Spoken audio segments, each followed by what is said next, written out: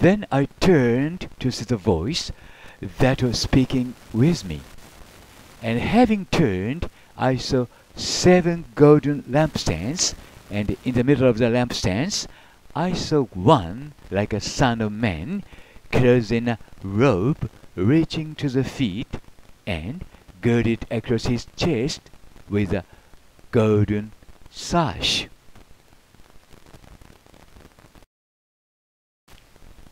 ヨハネの目次録はこんな一文で始まります。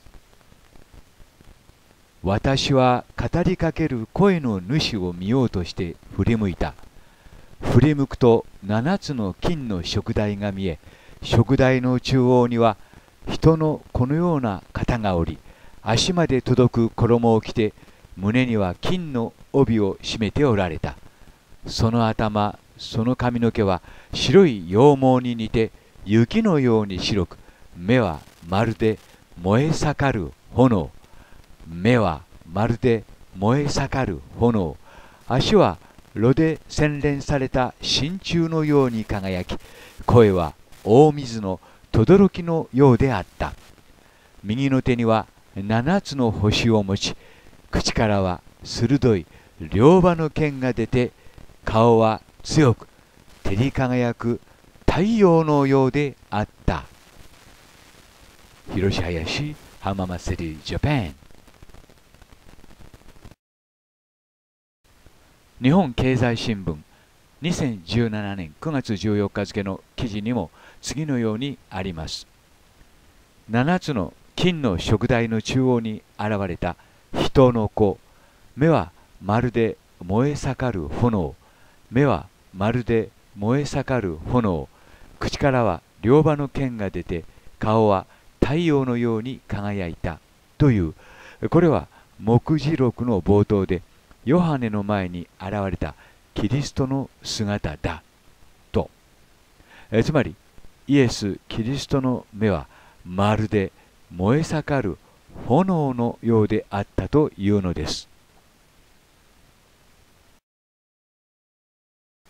イエス・キリストの目は赤かったということになるのでしょうか The Revelation of St. John つまりヨハネの目次録の他の部分にもそのように表現されていますそうしたキリスト教会における常識がことわざにもなっているようですね。一番下にあります。誰が赤い目を、あるいは目の赤さを持っているかと、この赤い丸で囲んだところに、その目の色が表現されています。イナンナ・イシター、つまりマリアの目も赤かった。そしてイエスキリストの目も赤かったということになります。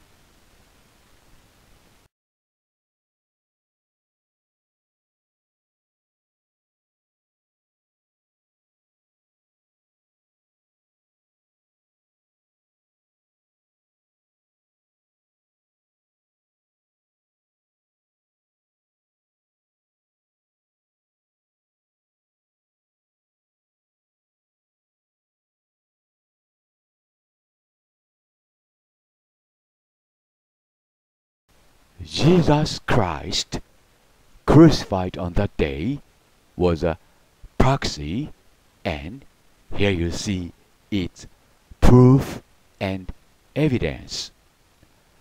当日処刑されたイエスは替え玉でした。その証拠と証明。それに先立って間違いを訂正しておきます。775027についてイエス復活聖書というふうに理解していましたけどもユダヤ・ゲマトリアによれば77はキリスト50は聖書のそして27は権威を意味しますつまりキリストは聖書でいう権威という意味ですその点を留意の上続く動画をどうかご覧ください。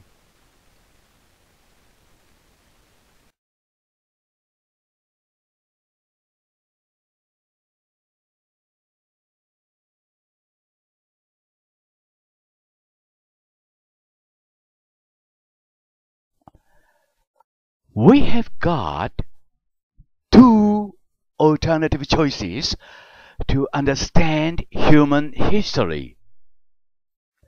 One of the two is to choose one that, unless we can obtain evidence of aliens' existence, we should understand that the whole history of human beings has been created by human beings ourselves. Another one of the two is to choose one that, unless we can obtain evidence that whole history of human beings has been created by human beings ourselves, the whole history has been created by aliens whom we may call gods. Now is the time of its choice. Which choice of the two would you choose? 人間の歴史についてどう考えるか。二つの選択肢があります。一つは、エイリアンの存在の証拠がないなら、人間の歴史は人間自身によって作られたと考えるべきという選択肢。もう一つは、人間が作ったという証拠がないなら、人間の歴史は私たちが神々と呼ぶエイリアンによって作られたと考えるべきという選択肢。今がその選択の時。あなたはどちらの選択肢を選びますか？広し林浜松シティジャパン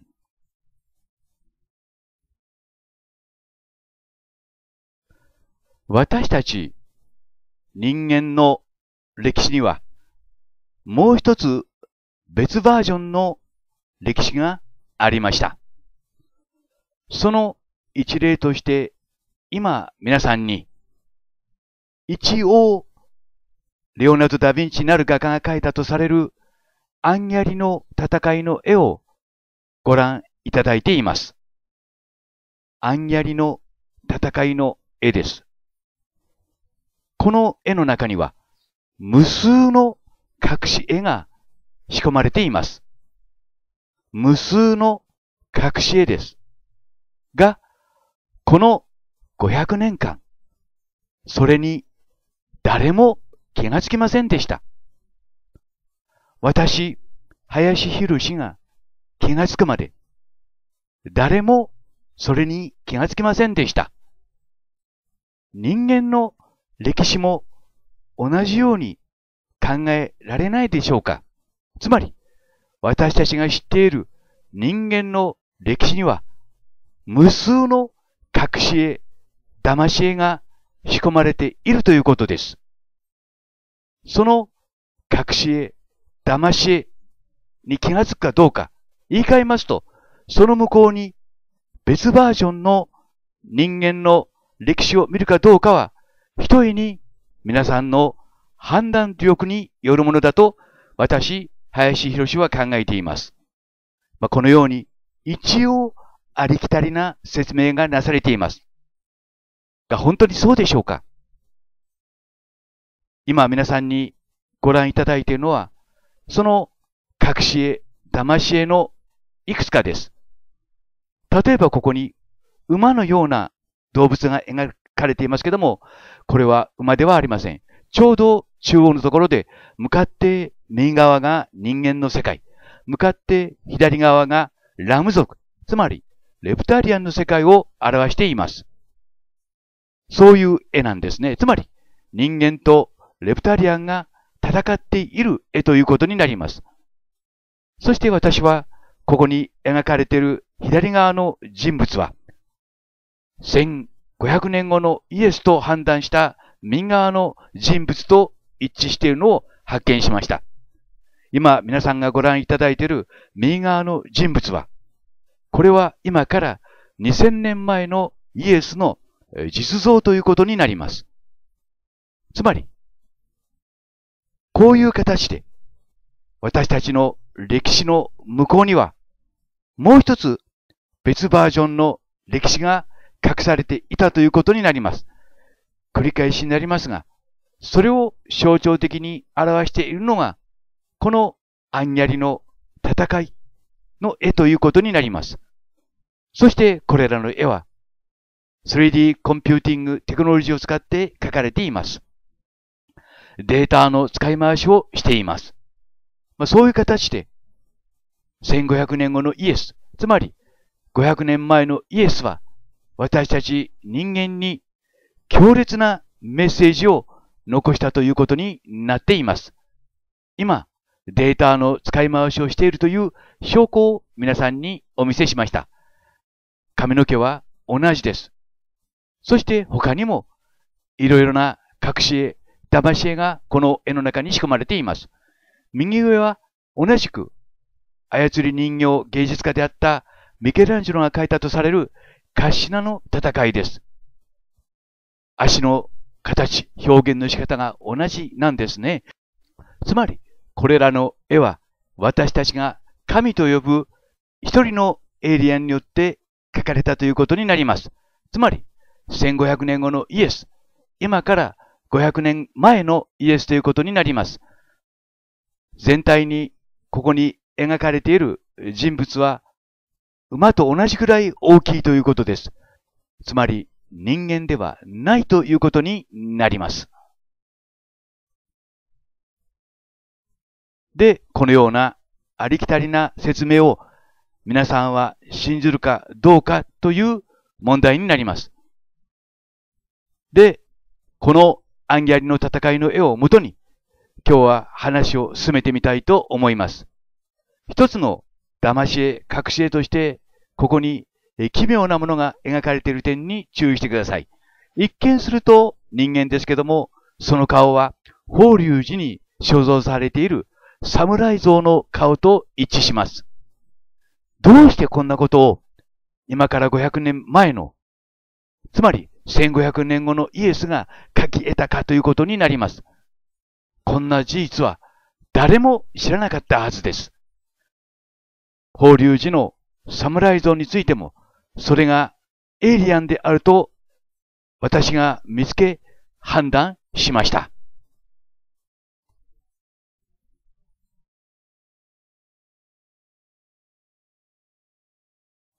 もう一度アンギャリの戦いの絵を見てください。これはアンギャリの戦いの絵ではありません。この下の人物に注意してください。この人物に注意してください。この人物を180度回転しますと、このような絵になります。この人物の頭を見てください。頭の周りに円形が描かれています。一見すると血のように見えます。頭から血を流しています。がしかし、これは降臨をかたどったものです。森本聡さんが教えてくださいました。降臨をかたどったものです。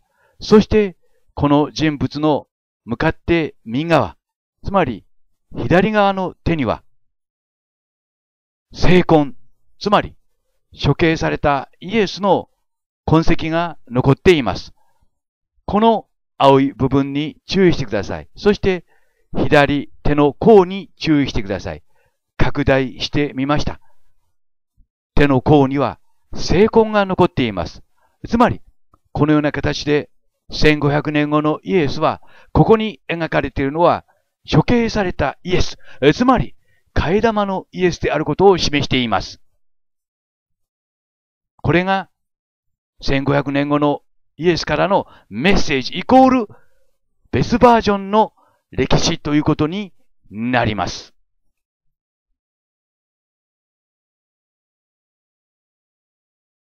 その都度、私たちが神々と呼ぶエイリアンは、操り人形、つまり替え玉を立てて人間との接触を図ってきました。処刑されたのは替え玉のイエスということになります。そしてそのイエスは様々な形で表現されています。ミケランジェロも操り人形画家であったと私、林印は判断しています。で、そのミケランジェロが彫刻したとされるピエタ像を見ていただきたいと思います。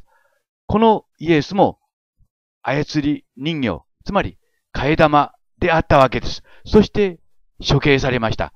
そして聖外譜も、これも1500年後のイエス、つまり当時のダヴィンチの作と私、林印は判断しています。並べてみますと、長い鼻にその特徴といいますか、共通点が見られます。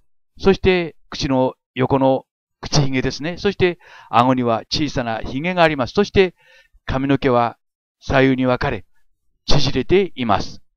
で、これは、ベロッキオとダヴィンチが描いたとされているイエスの洗礼の絵です。ここにも、やはりイエスが描かれています。このイエスも、私、林印は、替え玉イエスと判断しました。やはり同じように表現されています。ただ顔の長さが違うかなという印象は持っていますが、あと細かいところを見ていきますと、違いがないという点で、私は同一人物すなわち、替え玉イエスと判断しました。この替え玉イエスが本物のイエス、つまり2000年前のイエスの代わりに処刑されてしまったということになります。目がやや垂れ目になっている点にも注意してください。つまり、替え玉イエスはこのように共通性を持って描かれたり作られたりしたということです。パペットアーティスト、つまり操り人形芸術家たちの話をしておきます。これがリオナルド・ダ・ヴィンチの自画像と言われているものです。ミケランジェロの自画像と言われているものです。そしてこれがアンドレア・ベロッキオの自画像と言われているものです。これらは皆操り人形芸術家でした。1500年後のイエスのもとで人間との接触点として働いた操り人形芸術家ということになります。今ご覧いただいているのは今から2000年前のイエスの実像です。そしてその右がそれから1500年後の、つまり1500年後のイエス、現在から見れば500年前のイエスの実像ということになります。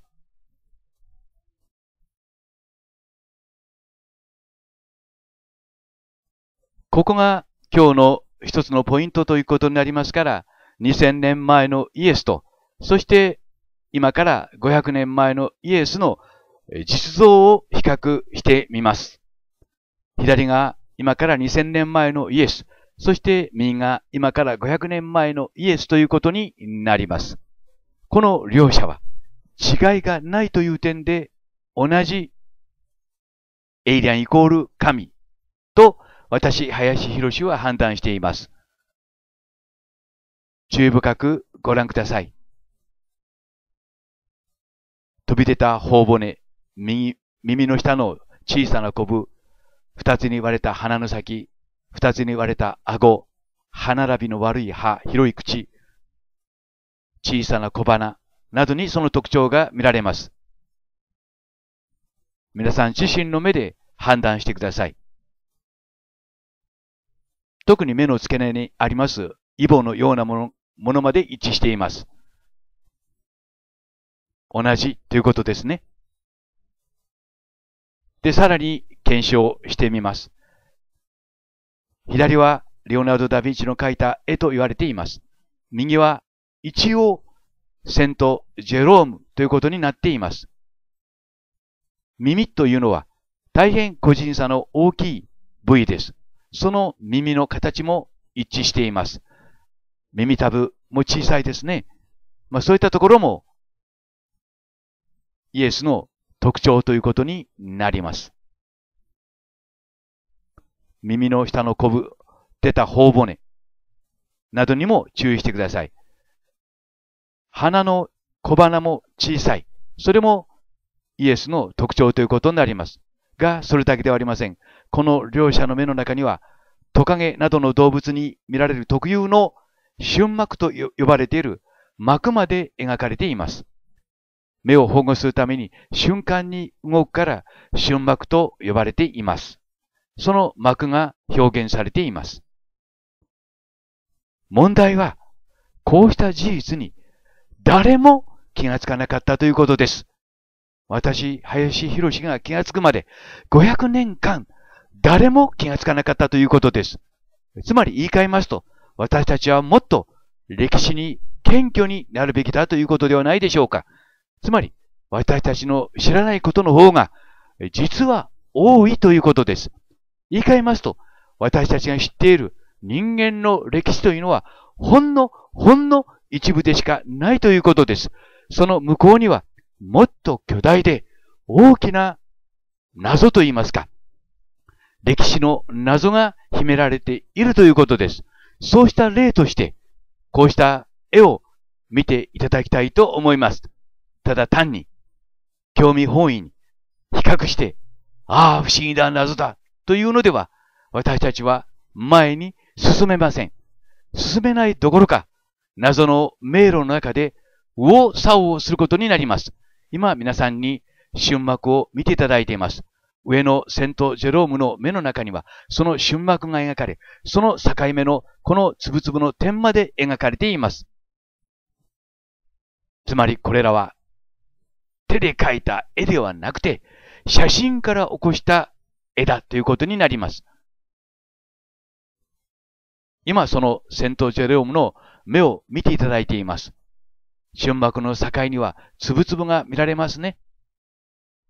瞬膜というのは瞬間に動くから瞬膜というのです。目にも止まらなる、止まらない速さで動くから瞬膜と言います。それがこのような形で描かれているという点にも注意してください。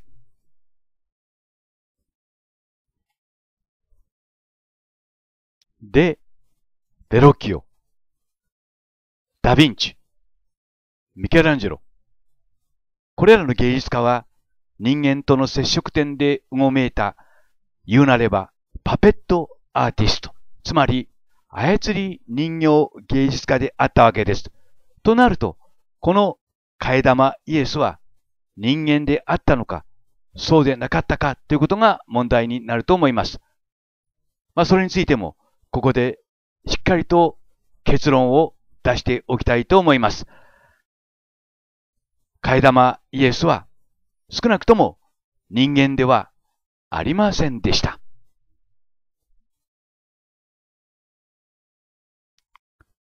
順に検証してみます。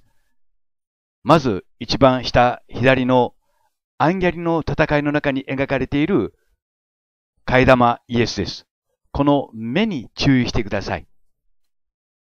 少し見にくいと言いますか、判別が難しいかもしれませんけども、目が縦線一本になっているのがわかります。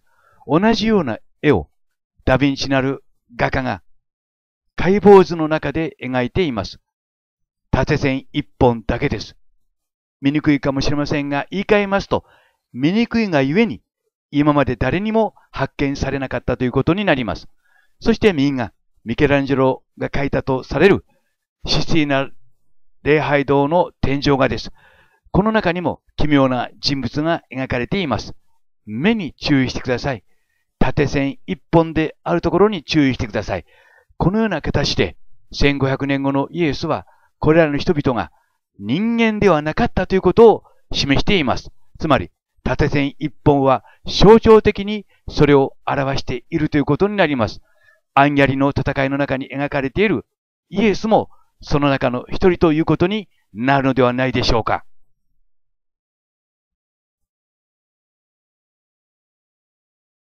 次に、ミケランジェロなる芸術家が彫ったとされるピエタ像です。中央のイエス像に注意してください。処刑後のイエスという形になっています。このイエスの向かって左側、つまりイエスの右腕を見てください。この右腕に注意してください。この右腕には人間にはないコブがボコボコと描かれています。これも誰も気がつかなかったんですよ。私、林博士が気がつくまで誰も気がつかなかったんですよ。つまり、このボコボコした手がですね、この中央のイエスが人間でなかったことを示しています。みんな、レオナルド・ダ・ヴィンチが書いたとされる解剖図ということになっていますけども、その書き方、コンセプト、表現の仕方は一致しています。注意深くご覧ください。そして、民もミケランジョロなる画家が描いたと言われているカシナの戦いの絵です。向かって一番左の下、足の皮をベロッと剥いで、そして頭に鼻冠をつけている男性に注意してください。その男性の腕を今皆さんに一番右にご覧いただいています。反転して比べてみますと、その腕はペーター像に彫り込まれているイエスの腕と、そしてダヴィンチなる芸術家が描いたとされるイポーズの中の人物の腕と一致します。つまりこれら三者は皆一人の人物、1500年後のイエスを表現したものと私、林印は判断しています。そしてもう一人、下の段の向かって右側のイエスです。替え玉イエスです。ベロッキオとダヴィンチが描いたとされるイエスの洗礼の絵をもう一度見てください。このイエスの洗礼の絵の中の向かって右側、イエスの左腕に注意してください。何やら奇妙なものがぶら下がっているような感じがします。がしかし、これは布ではありません。皮膚の一部です。皮膚の一部がめくれているのです。注意深くご覧ください。が、これだけを見たのでは、皆さんも判断しかねると思います。岩窟の聖母の中に同じものが描かれています。このマリアの向かって左側、右手に注意してください。マリアの右手の人差し指のその先はイエスの皮膚の下に潜り込んでいます。つまりこのような形でイエスは少なくとも人間ではなかったということを示しています。皮膚の下にマリアの手が潜り込んでいます。神秘の下に潜り込んでいます。まあ、このような形で、まあ、皮膚が描かれているということですね。で、対比してみますと、左のイエスの腕に巻かれているのは、これは布ではなくて、皮膚であるということがわかります。すなわち、イエスは少なくとも人間ではなかったということになります。で、結論ということになります。この動画の中では、替え玉イエスの正体について考えてみました。その正体は、少なくとも、少なくとも、処刑された替え玉イエスは人間ではなかったということになります。が、今日この動画を通して皆さんにお伝えしたいことは、そのことではありません。私が皆さんにお伝えしたいことは、この世界にはあまりにも私たちの知らないことが多いということです。特に神々の世界については知らないことが多いということです。この替え玉イエスの問題もその中の一つということになります。ほんの一つということになります。言い換えると、私たちが知っている歴史のその向こうには、もっと巨大な別バージョンの歴史があるということです。それを皆さんに分かっていただきたく、この動画を編集してみました。つまり、人間が作ったという証拠がないならば、その歴史は私たちが神々と呼ぶエイリアンによって作られたということになるのではないでしょうか。人間が作った、人間が作ったと頑張るから、私たちはミステリーの袋小路に入ってしまうのです。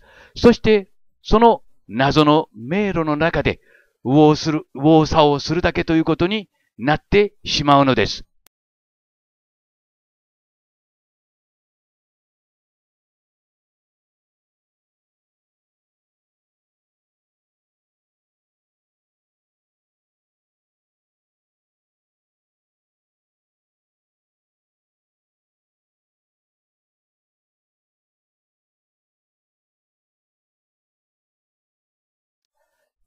Anger and agony are better to tap into if you have the need to fight, because that focuses the energy into action outward. Misery is better if you do not wish to bring harm to another. It can be very painful, but misery focuses the energy inward. Jesus, who was crucified on that day, was a proxy Jesus who was most possibly killed accidentally for the real Jesus Christ. Jesus, however, took another way to choose. Jesus focused his energy into action outward. 苦悩と怒りは、もしそれが戦わねばならないものであったら、心の中に閉じ込めておいた方が良い。なぜなら、苦悩と怒りの持つエネルギーは、外に向かうから。誰かを傷つけたくなかったら、そうしたエネルギーは外に向けてはいけない。惨めな方がまだ良い。それは辛いことかもしれないが、惨めになることで、そのエネルギーは内に向かう。が、イエスの判断は少し違っていたようです。替え玉のイエスが、図らずもアクシデントでイエスの代わりに貼り付けになった時のことです。その時イエスが取った選択は、その苦悩と怒りを外に向けるという方法でした。広し林、浜松シティ、ジャパン。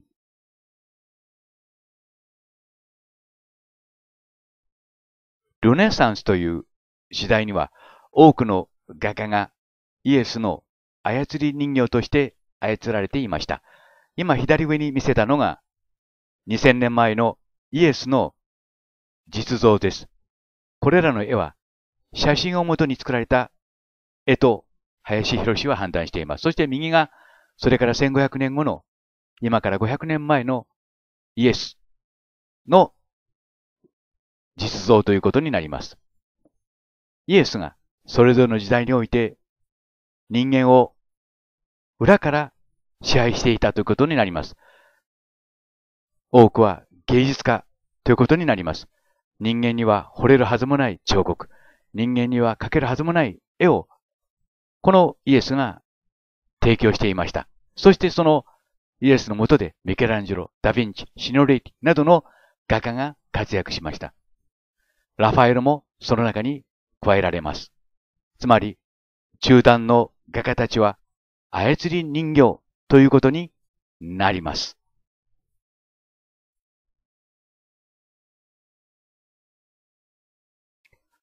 ここで2枚の絵を見ていただきます。上はミケランジェロが描いたとされるカッシナの戦いの絵です。下はレオナルドが描いたとされるアンギャリの戦いの絵です。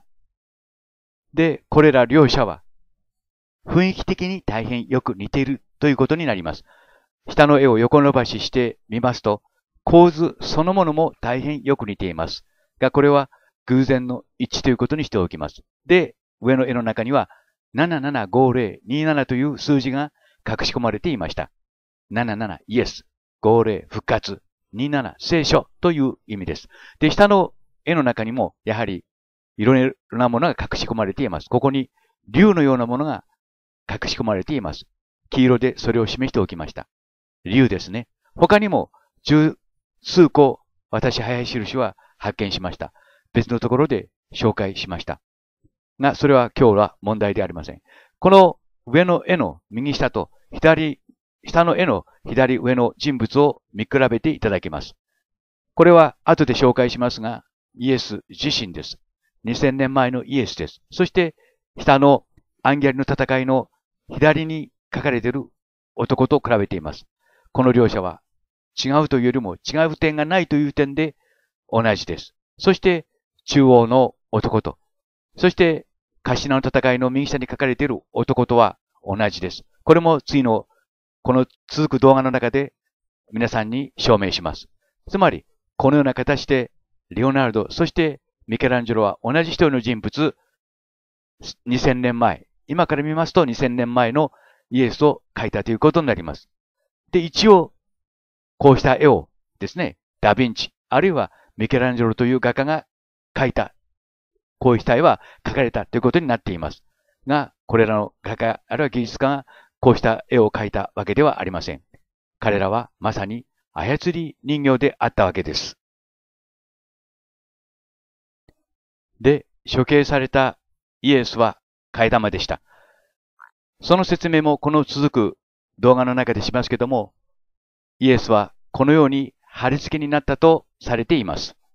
が、このイエスは本物のイエスではなくて、替え玉のイエスでした。これはペータ像です。ミケランジェロが彫ったということになっています。まあ、このように替え玉のイエスは処刑になったということなんですね。で、これが本物のイエスの顔です。2000年前のイエスということになります。そして右の方がそれから1500年後のイエスということになります。で、左下は、まあ、ペーター像ですけども、これは処刑後のイエスということになります。これ下の方は、これは替え玉のイエス。上の方が本物のイエスということになります。で、処刑されたのは、替え玉のイエスです。となりますと、上の本物のイエスは、それに心を痛めなかったのかということにもなりますけども、本物のイエスは大変それについて心を痛めていました。で、その前に本物のイエスと、それから替え玉のイエスの話をしておきます。レオナルドはこのような絵を描いて、替え玉のイエスがですね、頭から血を流しているところを表現しています。ハローですね。そして血です。で、この男の左手の甲には聖痕があります。こちらの方は、まあ、替え玉のイエスということになります。手の甲の聖痕に注意してください。つまり、替え玉のイエスはこのように、なんて言いますか、頭から血を流して、今まさに死に対応としているというわけです。で、このアンギャルの絵をよく見ますと、中央に、まあ、奇妙な動物がいます。この赤い丸に注目してください。二頭います。で、右半分はこれは馬です。しかし、左半分は見られない。この地球にはいない動物です。注深く比較してください。右は馬です。つまり、右の方は人間の世界、左の方はレプタリアンの世界ということになります。まあ、このように、レオナルドは、二つの世界をここで表現したということになります。右が人間、左がレプタリアンです。なわち左のこの動物は地球にはいない動物ですね。ですから、右の方が人間、左の方がレプタリアン。その人間の方の世界の馬に、替え玉のイエスが足で踏みに、踏み、踏まれてですね、今死に耐えようとしています。まあ、このような形で、レオナルドは、まあ、替え玉の人間のイエスは死んだと。そのようなことを表現したと。私、林博士は判断しています。で、この右の方の、この上の人物を見ていただくとわかりますように、これはローマ軍のヘルメットだと林博士は判断しています。つまり、替え玉のイエスはローマ軍の兵士によって殺されたと。そういったことをこの絵の中で表現していると私、林博士は判断しています。そして左の方のこの男に注意してください。レプタリアン側ですね。この男と、先ほどお見せしました、いわゆるまあイエス、2000年前のイエスの顔と比較してみてください。全く同じです。違う点がないという点で同じです。ここがこの動画のポイントですから、注意深く見てください。右がイエスです。2000年前のイエスです。そして左、左もそのイエスと同じであれば、左も2000年前のイエスということになります。つまり、この絵の中には本物のイエスと、そして頭から血を流して死にそうになっている替え玉のイエスと、その両方が描かれているということになります。つまりこのような形で、イエスは自分の怒りというものを、この顔を通して表現しています。左の顔をしっかりとご覧ください。これがイエスの怒りと、そして苦悩ということになります。